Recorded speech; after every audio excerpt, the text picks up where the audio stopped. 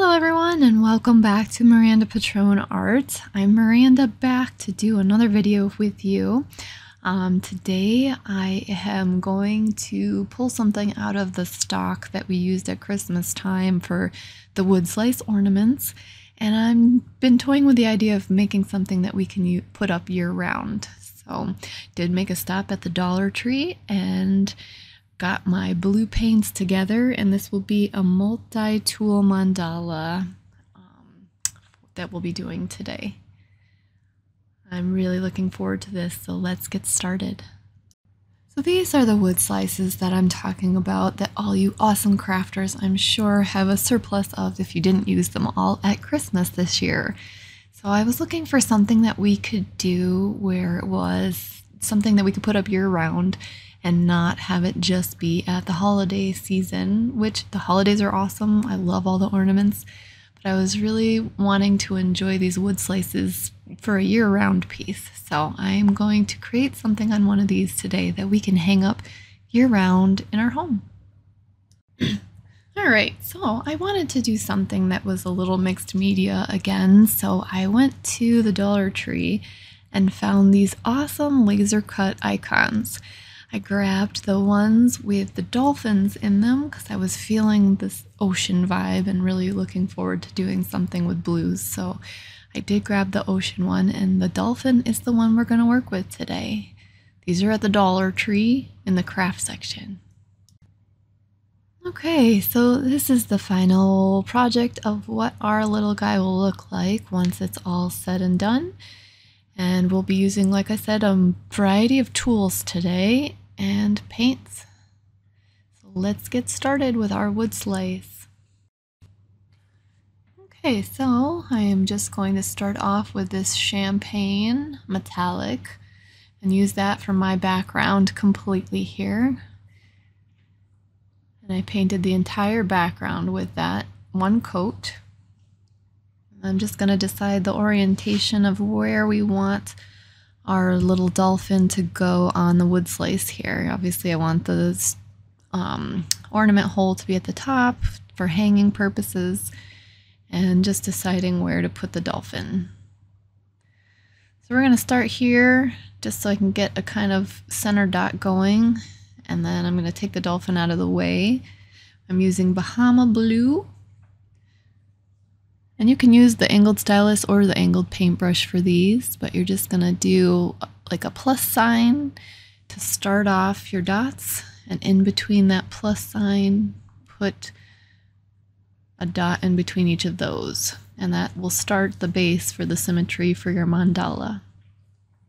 Next, I have this eighth inch rod, just acrylic rods and it's still the Bahama blue. I'm just going to dot it here in between our smaller dots of the first ring that we started.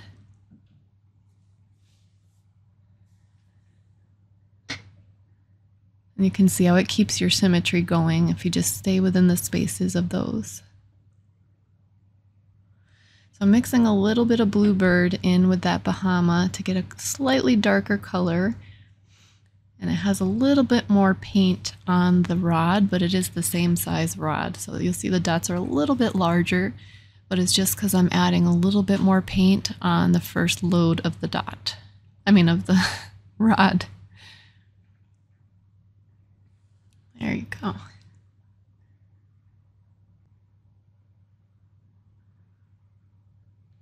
So this one is a little bit larger.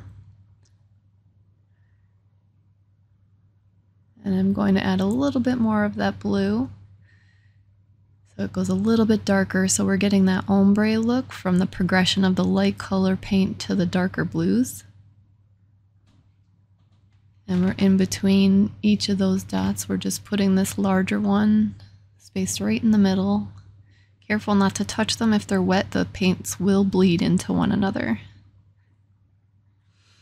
All right, so I'm just going to grab my angled dotting stylus here with some metallic teal. And we're going to walk some dots around these larger dots to just make one ring around these. But you can see the nice contrast with the aqua, the teal, as opposed to the other ones, which are bluer and less greens in them. And we're just starting at the top, and you work your way around each dot. You can also do this with a paintbrush or the etcher tool. And as you work your way around, the paint just runs off the tool, making your dots smaller. You don't have to change tools or do anything extra. Just work your way around, and the paint will run off the tool, making the dots smaller. Those ones were a little bigger to start, but I'm just going to leave it like that because nothing is perfect and you're not, no one's going to notice after. This is about relaxing and just enjoying the process. Don't be so hard on yourself. If you have eight dots on one side and six on the other, no one's counting. It's still going to look beautiful. Just take your time and work your way around.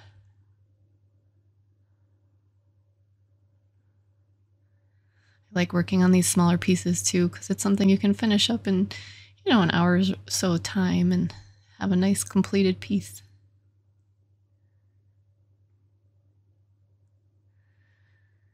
I think what I'm going to do is show you how to do some swipes here with the angled stylus. I just kind of want to give it that kind of watery look since we're going with the dolphin and the aqua in the water. We'll make some swipes, like some sort of movement with the waves here. So I'm going to grab some icy blue, which is from the Dazzling Metallic line. I'm going to start at the top of each of these sections with the large dot and then I'm just going to pull it down until the tail reaches the inner circle there. Pull it down and around, just using your aqua dots as a guideline. Of course, I got to be cognizant of that hole in the slice there. And you just gently kind of tease the paint around, kind of pull it to where you want it to go. And this really is a take your time kind of thing. They say swipes, swooshes, swoops. You know, it looks like it's done fast, but it's not. Just take your time and drag the paint out into the tail. Okay, so now I am going to use the second color where we mixed the Bahama and the bluebird together. I'm adding another swipe on top of here. I tucked it right in past the hole there. and so we're just kind of bulking up our water element here a little bit. And each time I kind of take a step back and decide what I would like to do for the next part of it to just kind of give it that little uniqueness, you know, where you just add each element so I'm thinking as we have white caps on top of waves, I'm going to take the white and just kind of swirl it around and then drag the tail down. So you kind of have that wave curl at the top. Now this champagne is so shiny, so it's become a challenge to actually have the camera adjusted so you can see. So I'm playing here with the lighting and the focus just to try to make it a little bit easier. But I do love the background. It's like sparkling sand, but it does not show up well on the cameras. I've tried all three of mine.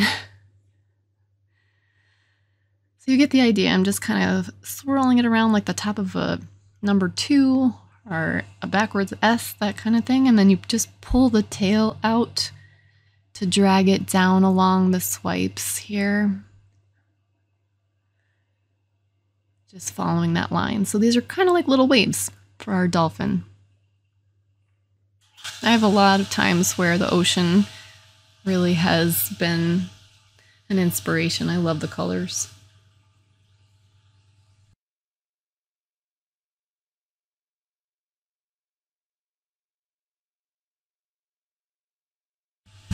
And of course, I gotta get under there. I'm gonna go right through that hole there, act like it wasn't there. And then get our last little white cap on here. Sometimes I take a step away or I look at it on camera just to kind of see, I feel like it needs something more, maybe some top dots, maybe a little more swipes, but each time I just take a break and kind of take a peek at it to see what I want to add. So we're going to add some white on the intersections here. Just some little white dots to kind of brighten up the center a little bit. Like bubbles in the water. How are all yours coming along? I'm sure they're coming along. I want to say swimmingly so bad, but you know, the puns are kind of corny, so, but you get the idea. I hope you're enjoying creating these. And you can pause it as you need to if I'm going too quick here. I've got the etcher and it's being temperamental, so I'm really pressing down in here to get it on an angle and press it down to get the tinier dots because I would not be able to fit it in there with the dotting stylus. So this one is really to a point you could use a toothpick or a mechanical pencil if you don't have the etcher tool. And as always, all the links will be in the description for anything I've used in the videos if you guys want to check them out. All right, so I'm going back, I think, to this acrylic rod. But unfortunately, I, I did not wait forever for my dots to dry. So I'm going to go for it. It's going to be wet on wet. so you can see it didn't pull into a perfect circle, which is fine. But you get the idea. If you wait for your first layer to dry better, yours would be a better circle when you put it, your top dots on. For these ones as well, you can see I'm working wet on wet. So it's a little bit of a challenge for getting it in the exact middle, but also getting that perfect dot that you want. So this is the aqua. The center was the ice blue. And this is that, um, I'm sorry, I keep saying aqua. It's teal. Teal metallic. And I'm just kind of letting it drip off the tool rather than dotting with it because I'm working the wet on wet. See here, I didn't stamp it in there because it's wet. So I'm just dripping it in there. But those who use cones or anything like that, you'd be able to just kind of squeeze it in or if you just be patient and wait for the bottom layer to dry. All right, so I adjusted the lighting again so you can see the colors look like they changed, but I promise it's the same piece. It just was frustrating me that I couldn't make it so y'all could see it very well. I'm taking the etcher tool now with some of that Bahama from the center just to bring that color out here because I felt like these spaces kind of needed a little more. So we're just going to do a longer swipe starting at the top of the left, see the left-hand side ones? It'll be starting at the second swipe, but you'll be doing them down the right-hand side of each section. And this is the etcher tool. So you can see really it's just a dip and drag situation. You just dip, kind of adhere it to the, the base there, and then pull out your tail in the direction that you want it to go.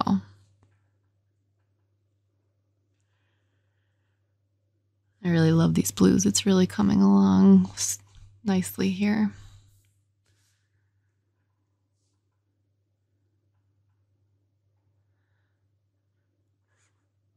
So again, it's just slow and steady and then pulling it out into the area where you want the tail to end. I think because these are mostly lighter colors, I'm going to actually do a little more contrast and grab that ice blue again to just kind of grab, you know, you keep the colors going throughout each piece. So it'll help kind of create a bit of contrast so it shows up better here on the out outskirts of the piece.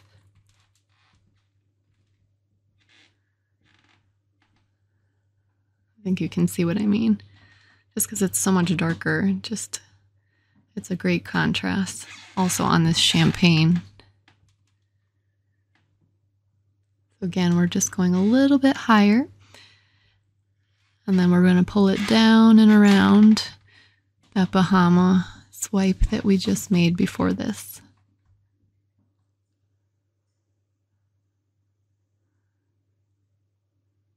Oh, if you guys are liking these videos, I just wanted to let you know you can hit the subscribe button and you'll be notified for when I get out new videos, which I'm hoping to keep doing more of this year. And just you know, an opportunity for, for me to keep the videos going, please just stop in the comments and say hi or leave an emoji or just something to kind of let the algorithm know that you're engaging with my videos.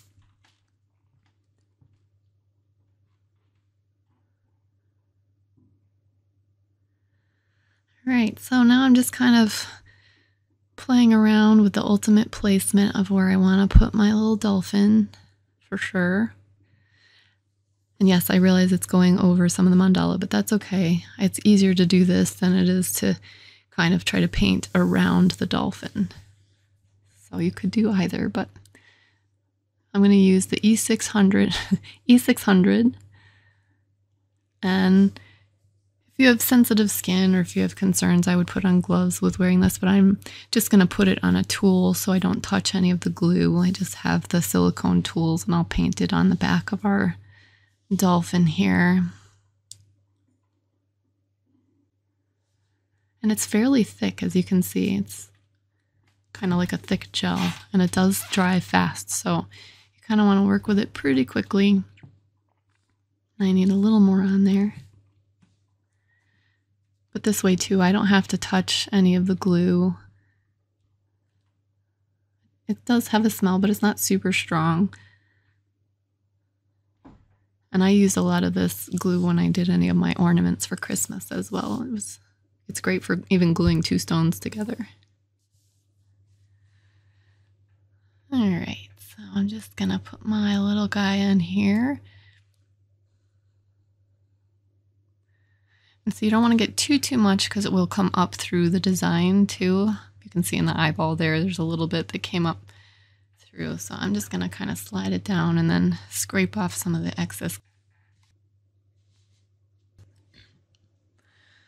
Okay, so I just want to give this one more look over to see if there's anything else that I want to add. And then I am going to varnish it real quick here with some Liquitex, Liquitex gloss because I want to see how it fares on the dolphin.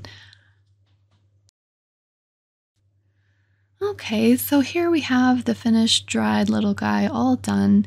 And I will say it looks better in person, to be honest. This metallic background is really challenging to get a good image of with my cameras, so I do apologize for that. However, I am happy with how the Liquitex varnish really coated this and protected this piece very well. The press board is a little darker, as you can see, the dolphin, um, but I'm okay with that. I actually really like that. I contemplated painting the dolphin in the first place. So I hope you all enjoyed creating this piece with me. I look forward to hearing from you in the comments and in the future. And if you are looking for more videos, I have a ton here on Facebook for all sorts of designs. All right, y'all. I hope you have a great day and happy painting. Thanks so much for watching.